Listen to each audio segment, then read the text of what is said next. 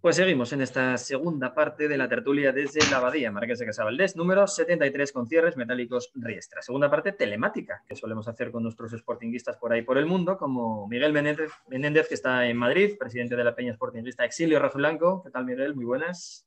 Buenas, Juan. Un placer estar otra vez aquí. Y por el mundo gijonés, como decíamos, está Óscar en su casa. Hola, Óscar Carcedo, muy buenas. ¿Qué tal? Muy buenas, Juan.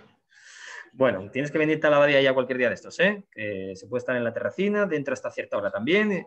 Y estas cervezuques tan buenas que hay aquí, tienes que volver a degustarlas, ¿eh? Que sí que te gusta. Espero que, espero, espero que pronto todo nos permita volver a disfrutar. Es un sitio estupendo, ya lo sabes. Yo la opinión que, que tengo, así que espero pronto poder estar ahí. Yo volví de México nada más que para venir aquí a la abadía a las tertulias. Nos falta Álvaro Conejo, que está en Málaga, que al final por un tema laboral no le va a dar tiempo, si puede a última hora se, engancha con nosotros. Pero bueno, si no seguimos hablando con vosotros y toda la actualidad que hay, no sé si el derby ya nos deprimió tanto que ya no queremos hablar más de, eso, Miguel. Bueno, sí, eh, hay, que, hay que hablar, hay que analizar, eh, creo que como más o menos medio insinuó el míster en la rueda de prensa, pues analizar errores que creo que lo decía la última tertulia, la anterior, que de los errores se aprende. Bueno, pues desgraciadamente de los derbis últimamente aprendemos mucho. Y bueno, nos tocó otra vez una derrota en un partido malo de los dos. Es decir, no, no es el típico partido que puedas leer. No, bueno, es que el Oviedo nos, nos arrasó en juego y metió una, pero podría haber sido cinco. O nosotros al revés, es decir, partido de 5-1, pero no metiste las tuyas. No, la verdad que fue un partido muy malo de los, de los dos equipos. Mm, sí que quizás el, Sporting tuvo rachas un poco mejores de juego y demás, pero mm, testimoniales. Y bueno, pues por desgracia una oportunidad para mantener a los perseguidores eh, a raya, pues por desgracia no, no logramos puntuar, tercer partido consecutivo perdido. Y bueno, sinceramente yo creo que antes que andar echándonos las manos a la cabeza, yo creo que pensar que ha sido un bache estos tres partidos, por desgracia, bache gordo, pero bueno, y centrarse sobre todo en que queda mes y medio de competición y que que lo tenemos en la mano el entrar en playoff y entrar en, lo que llevo diciendo prácticamente en todas las tertulias, que es entrar en playoff en buena dinámica. De nada me vale quedar sexto raspeando con una derrota la última jornada contra Almería si, si se puede entrar de otra manera más, creyendo más en este equipo, que se lo, que se lo ha ganado. Hombre, yo ahora mismo con entrar ya no digo ni cómo ni cómo está, porque lo veo, lo, veía tan claro y ahora me da tanto miedo que digo, ya que entren como Carlos Sainz en la última Agates o como, o como sea, pero, pero que entren, ¿no, Oscar? Claro, es que date cuenta lo que, lo que siempre decía Luis Aragonés, ¿no? de que todo se decide en los diez últimos partidos y de cómo llegues de estado de forma y de moral a esos diez últimos partidos. El Sporting estuvo muy bien todo el año, pero acordaros hace un par de semanas, tras la derrota ante el Mirandés, que yo os decía que le daban muchísima importancia al partido de Tenerife, porque si ganábamos en Tenerife todo estaría en su sitio. El partido de Mirandés quedaría un borrón sin mayor consecuencia. Eh, pero si perdíamos en Tenerife, era encadenar dos derrotas y venía el derby, con los precedentes que teníamos en el derby. Y me tenía muy mucho que empezaran las dudas y que pasase lo que está pasando. Ahora son, acumulamos tres derrotas. Iguaste, Oscar, con tus previsiones. Es que me lo, temí, me lo temía y al final, lamentablemente, pues, pues se cumple esto, ¿no? Que, que al final acumulas tres derrotas, la tercera ante el eterno rival que siempre hace especial daño Encima vamos a la Romareda, que no es un campo que históricamente se conoce bien, eh, con un Zaragoza que se está jugando bastante por abajo todavía, entonces, bueno, que no tiene mal equipo a pesar de que esté mal clasificado. Eh, entonces, bueno, tenemos ahí a, a Pei y a Alex Alegría seguramente especialmente motivados eh, porque juegan contra un ese equipo. Torrecilla ya ni te cuento, a lo Torrecilla, te voy a decir, sí, sí. Mm, bueno, entonces, a ver, mm, a mí me da miedo también me da miedo porque imaginaros perder en la Romareda cuatro derrotas seguidas, ya no es un resbalón, es un socavón, ¿sabes? Entonces, bueno, quiero pensar que vamos a enderezar el, rumbo y, bueno, yo en este sentido, pues nada, los derbis es más de lo mismo, ya estamos tristemente acostumbrados y es que ni hecho adrede el Sporting lo hace tan mal en, en los derbis, ¿no? Y el otro día creo que fundamentalmente bueno, se habla mucho de la actitud del equipo. El equipo yo creo que lo intentó, subió mucho la pelota, la, movió de un sitio a otro, pero es que yo creo que el otro día, y por mucho que nos guste Gallego, que nos gusta, y a mí personalmente me gusta, mi opinión es que el derby para mí lo perdió Gallego y no lo perdieron la, la, actitud de los jugadores, sino que se empeñó, como se está empeñando los últimos partidos, en jugar por el centro, en dar menos importancia a las bandas, en poner en banda a Man Monacho, que no son bandas específicas, en dar menos, menos eh, trascendencia o, prácticamente eh, muy pocos o nulos minutos de juego eh, a, gente como, como Kumic, como Gaspar, que desaparecieron, o como Aitor, que sí, el otro día jugó y fue el hombre sustituido, ¿no? Pero creo que el Sporting está cambiando de, jugar, de manera de jugar en el momento menos oportuno. Si habíamos dado con la tecla, si el equipo funcionaba, ¿para qué ponerse a jugar ahora por el centro e intentar, intentar? Y bueno, y si tú dices que estás cambiando la forma de jugar y los resultados te están acompañando, pues, pues vale.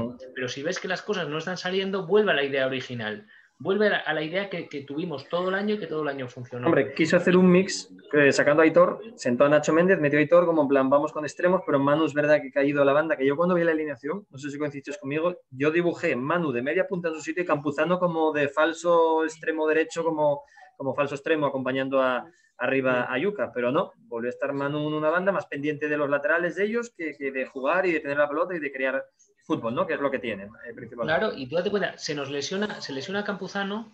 Para mí el equipo pedía a Gaspar en ese momento, para intentar seguir profundizando por, banda.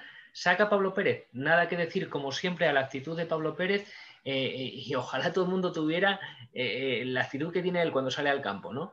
Pero a lo mejor y Pablo Pérez lo hubiera dejado más como recurso cuando faltan 20 minutos y ves que la cosa no va bien. Para ganar balones o lo que sea.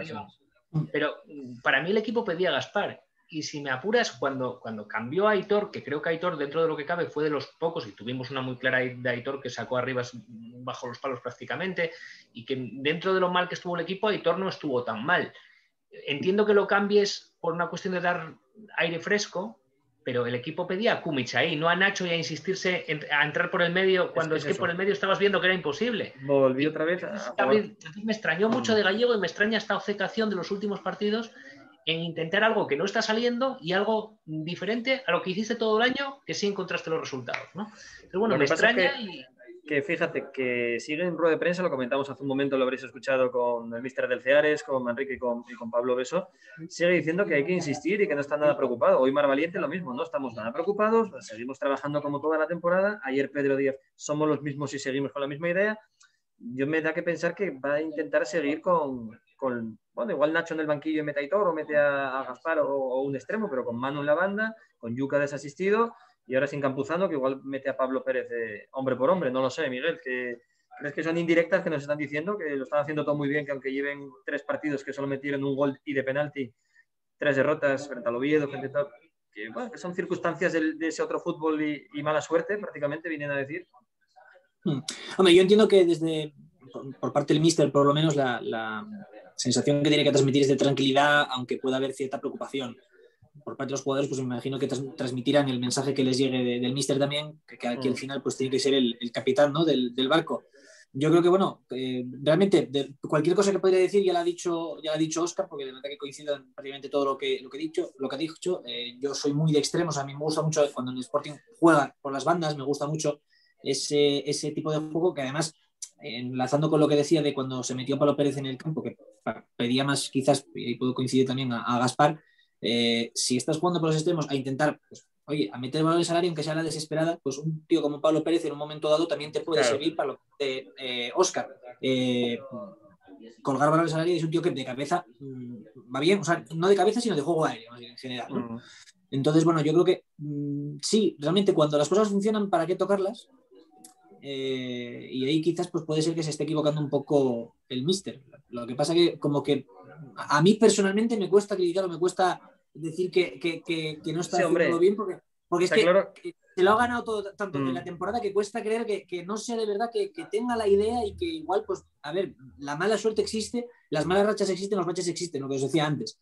Pero sí que pues quizás debería ir planteándose por lo menos tener en los partidos un plan B que te permita modificar el esquema y adaptarlo al, al juego. Es decir, el partido no será para adaptar a tu esquema, sino que tú tienes que adaptar el esquema al partido que se está desarrollando. Es que es eso. Yo Sea el, del, el derby, sea el partido contra el Tenerife o sea el partido de esta contra el Zaragoza. Mm, sí, sin criticar a Gallego, ¿eh? que está haciendo milagros y tiene el equipo del cómputo global de la temporada. Vamos, que nadie pensaba que íbamos a estar así con medio pie. Ya no digo pie y medio, pero medio pie en el playoff y quinto a estas alturas. Pero yo he hecho en falta, por ejemplo, que cuando funciona mal en Tenerife o el día del Mirandés, o incluso cuando lo Oviedo, que no coja de repente y haga tres cambios. Pues saco a dos extremos y cambio todo el dibujo y cambio tal. Y, pruebo otra cosa. No, es todo hombre por hombre. Eh, Campuzano, pues Pablo Pérez. Mm, Bogdan, pues meto a Guille. Mm, pero Coimes, o, deja tres centrales y tira para arriba. o sube a Babín de 9 ahí a rematar lo que pille a partir del minuto 80. Le veo como muy estático, que a principio de temporada variaba mucho más, variaba mucho más en función de, cómo iba el partido. No, y es que además vamos a ver, cuando eh, es normal ser estático cuando los resultados están saliendo y cuando el Sporting estaba tan seguro atrás toda la temporada, que, bueno, con aprovechar la que tenías ya prácticamente ganabas el partido. ¿Qué, estamos viendo en los últimos partidos? Que Yuka lleva unos partidos sin mojar. Era están aprovechando ellos, al revés. Está siendo ese factor suerte, ese detallito está cayendo en contra en vez de a favor, como pasó en Almería, como pasó en muchos partidos en la primera vuelta, ¿no?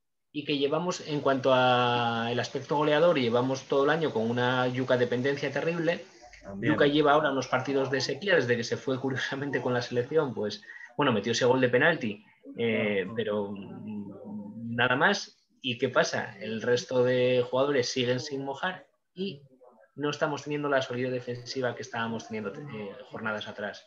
Incluso el mismo Mariño lleva unos partidos que no parece Mariño. Entonces, bueno, pues oye, los equipos es muy difícil mantener una regularidad durante todo el año, siempre se pasa un bache y nosotros lo estamos pasando ahora. Em, si va a ser un bache o, vamos a, tirar la temporada por la borda si seguimos eh, los próximos partidos sin sacar los resultados, porque obviamente lo que comentábamos estas semanas atrás, viene el Girona por atrás como un tiro y claro, si no empezamos a ganar partidos otra vez, se nos van a poner ahí a dos o a un punto en las próximas jornadas, van a empezar los nervios. Hay que jugar allí. mal. Entonces, hay que empezar a poner de remedio desde ya, desde el partido de la Romareda mm. y, por lo menos un resultado positivo que cambie la inercia. no te digo ganar, pero por lo menos puntuar y volver a recuperar sensaciones mm. y, bueno, y, tratar de recuperar la buena senda. Y ya te digo, para mí, para mí tendría que sacar conclusiones de los últimos partidos que empeñados en jugar por dentro no están saliendo las cosas y tendría que, en mi opinión, recuperar la idea. Eh, con la que el Sporting toda la temporada. Pues sí.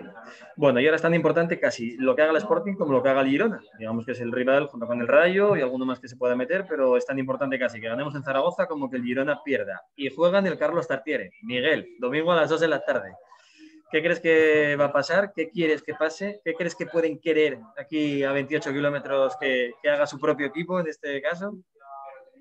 Hombre, a ver, mm, iba a decir una frase un poco bestia, pero los aficionados con cabeza del Oviedo querrán ganar como en las... Es decir, yo en la situación al revés, pues también querría ganar. Es decir, estás peleando por no meterte en la pelea del descenso.